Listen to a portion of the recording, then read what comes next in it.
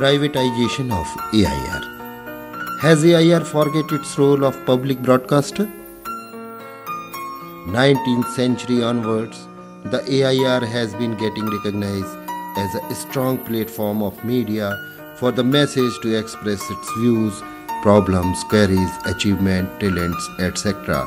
in their own language, dialects, and even in the local parlance.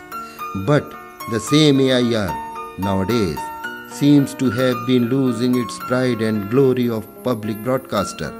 And this is because of practice of turning the well established and well reputed local radio station into the relay centers once where all the establishment of local radio station in addition of Delhi, Mumbai or other regional AIRs is the result of the public demand at large scale. The local common men feel delighted having listened the theme of their cultural tradition if it comes from the local radio station. These stations have utilized the talents of local artists, giving them respects and honor.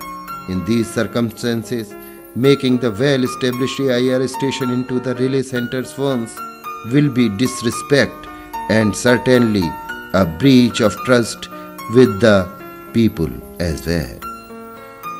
Meaning of relay center.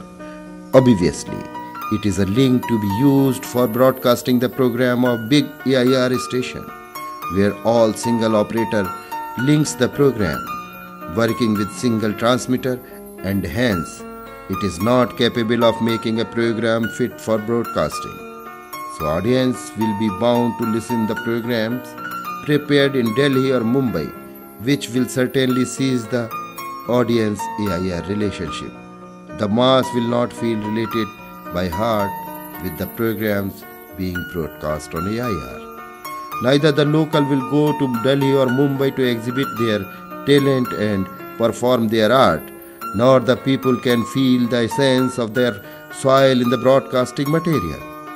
Local problems and the civilization too will lose the proper platform.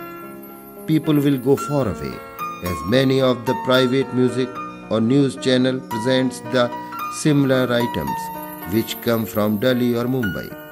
It will pave the path of flourishing the private radio channels who have got different civilization and culture. If the AIR will do the same commercial practice in the pretense of financial crunch, then what will happen of its vision of public welfare broadcasting?